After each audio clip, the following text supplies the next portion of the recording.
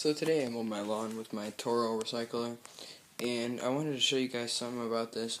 This is my mower and um, on the back it's got a rock guard right here so you can't really do much like of a striper on it without like doing anything with the handlebars like the Toro lawn striping system.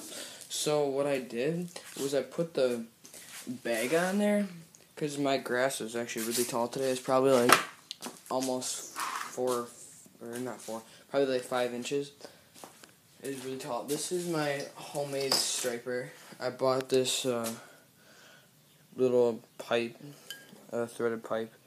Um, just at the hardware store. It was like four dollars, and that's what I used on our old lawnmower right here. So Scotts, and that's what I used until I bought this this year.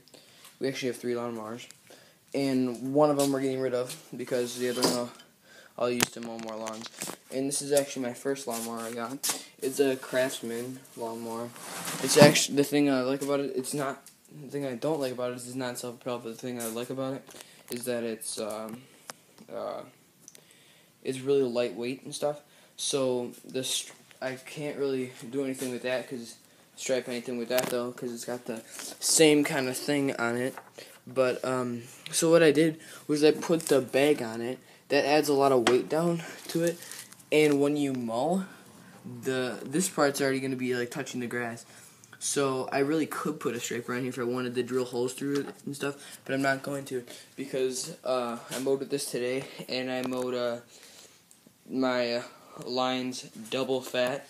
Quote from the lawn care nut, and um, it actually turned out really good. I'm really surprised and I didn't even use any sort of striper.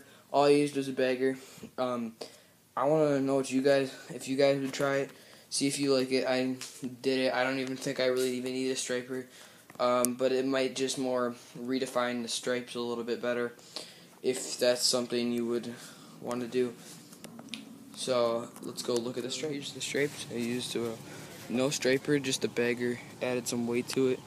That's that's the bag it added a lot of weight to the lawnmower, which carried it down, which gave it this really nice stripe. I like it how it turned out a lot, and uh, just big bush right here, more around that, and we just did the double striping, double fat. Quote again from the lawn care nut.